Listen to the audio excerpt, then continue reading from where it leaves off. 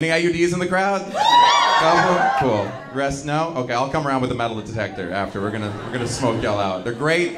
I didn't know what they were or how they worked, and I assume the women here are already familiar, but I'm a man, so I'm going to explain it with more confidence and less accuracy. So what it is is this little T-shaped rod wrapped in copper coils. It goes up into the uterus. I don't know how. I, I assume it's like one of those ship in a bottle type mysteries. Where you're like, How's that fit in there? Like, I can't tell you. Trade secrets, you know? She was on the pill before. That's a lot of work, you know? You just have to take it every day, and it alters your hormones and makes your body think that it's already pregnant. So even if an egg gets fertilized, the uterus is just like, seats taken, right? It just keeps going. Why you is way simple. It just goes up there, and then you can just leave it. That's not okay. That's off. I'm sorry. I feel like a Texas governor. I'm like, I don't know where it is, and I don't want to know. That that's between you and God. All right.